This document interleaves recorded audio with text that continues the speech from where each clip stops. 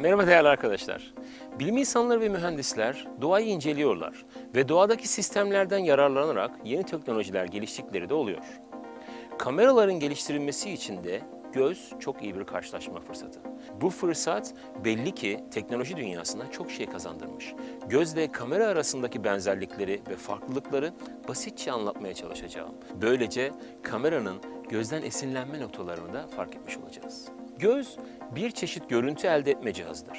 Göz, beyinle birlikte çok farklı ortamlarda ideal görüntüler ortaya çıkarır. Göz, büyük küçük, uzun kısa, karanlık aydınlık, uzak yakın gibi ortamlara hızla uyum sağlar ve kaliteli görüntüler oluşturur. Gözün ve beynin istemsiz etkileşimiyle elde edilen görüntüler hafızaya alınır ve iç dünyaya yansıtılır. Kamerada etkileyici görüntü elde etmek içinse mercek, odak ve ışık ayarlarının doğru bir şekilde yapılması gerekir. Doğru ayarlar bir insan tarafından ya da telefonlarımızda olduğu gibi bir yazılım tarafından yapılabilir. İdeal bir görüntü oluşturulması için nesnelerden yansıyarak göze gelen ışığın bir yüzey üzerine odaklanması gerekir. Gözümüzdeki kornea ve göz merceği bu işlemi yerine getirir. Kameralarda ise göz merceği ve korneanın işlevini görmesi için özel lensler tasarlanmıştır. İsterseniz burayı biraz daha açayım.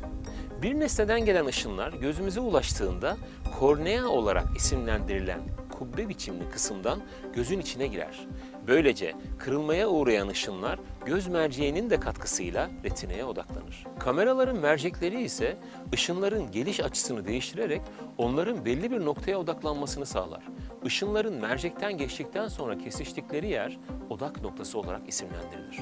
Odak noktasının merceğe olan uzaklığı merceğin ve ortamın özelliklerine bağlıdır. Gözde mercek ile retina arasındaki fark sabittir. Bu nedenle bir nesnenin uzaklığı değiştiğinde net bir görüntü oluşturabilmek için göz merceği kaslar sayesinde istemsiz olarak şekil değiştirir. Kaslar gevşekken mercek daha düzdür. Kasıldığında ise küreselliği artar, böylece ışığı kırma derecesi değişir. Kamera lensleri ise kullanım amaçlarına göre yapılmış farklı odak uzaklıklarına sahip olabilir. Iris, göz bebeğinin büyüklüğünü değiştirerek gözün içine giren ışık miktarını ayarlar. Kameralarda ise bu amaçla diyafram açıklığı değiştirilir. Değerli arkadaşlar isterseniz şöyle hep beraber hatırlayalım. Güneşli bir günde dışarıdan kapalı bir ortama girdiğimizde ilk anda etrafımızı görmekte biraz zorlanabiliriz. Ancak kısa bir süre sonra gözümüz karanlık ortama uyum sağlar ve ayrıntıları görmeye başlarız. Iris gözdeki renkli kısımdır. Göz bebeğinin büyüyüp küçülmesini sağlar. Böylece göze giren ışık miktarı ayarlanır. Örneğin parlak bir ortamda göz bebeği küçükken loş ışıkta göz bebeğimiz büyüktür. Kameralarda ise merceğin arkasına yerleştirilen diyaframın açıklığı değiştirilerek ışığı algılayan görüntü sensörüne ya da filme ulaşan ışık miktarı ayarlanabilir. Diyafram açıklığı büyükken kameraya giren ışık miktarı fazla, diyafram açıklığı küçükken düşüktür. Gözde ve kamerada üzerlerine düşen ışığı algılayarak görüntüye dönüştürmek üzere elektrik sinyaline çeviren algılayıcı yüzeyler bulunur. Gözün arkasındaki retina tabakası bu işlevi yerine getirir. Retinadaki ışığa duyarlı hücreler üzerlerine düşen ışığı algılayarak elektrik sinyaline dönüştürür. Retinada ışığı algılayan iki tür hücre bulunur. Daha önce bahsettiğim renklerin algılanması konu hücreleri sayesinde gerçekleşir. Eğer bunu biraz daha fazla hatırlamak isterseniz lütfen şuradaki linke tıklayınız. Çubuk hücreleri ise aydınlık ve karanlık değişimlerine karşı hassastır ve özellikle loş ışıkta görmeyi sağlar.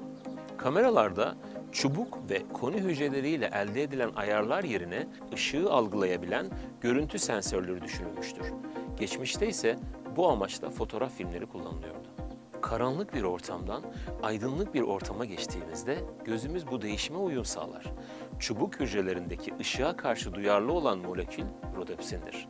Aydınlık bir ortamdan karanlık bir ortama girildiğinde çubuk hücrelerinde ilginç bir şekilde rodopsin üretilmeye başlar.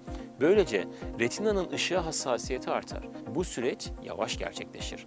Bu nedenle gökyüzü gözlemlerinde çok parlak olmayan gök cisimlerini çıplak gözle fark edebilmek için belirli bir süre karanlıkta kalınması tavsiye edilir. Karanlık ortamdan aydınlık ortama geçildiğinde başlangıçta her şey çok parlak ve beyaz görünür. Ancak bu durumda çubuk hücrelerindeki rodopsin molekülleri parçalanır ve çubuk hücrelerinin etkinliği azalır.